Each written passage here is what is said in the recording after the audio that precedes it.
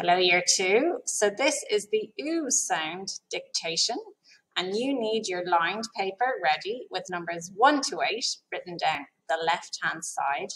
And remember, you can pause or rewind at any point if you need more time or to hear a word again. Number one, blue, blue.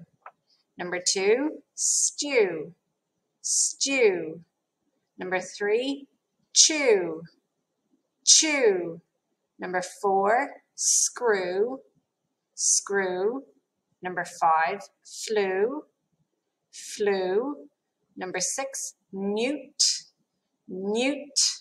Number seven, jewel, jewel. And number eight, newspaper, newspaper. And here are your sentences. Don't forget capital letters and punctuation, and I have included some of your spelling words from earlier in the week as well. Number one, after he made the stew, he blew cold air. After he made the stew, he blew cold air. And number two, don't let the busy newt chew the screw or climb on the newspaper.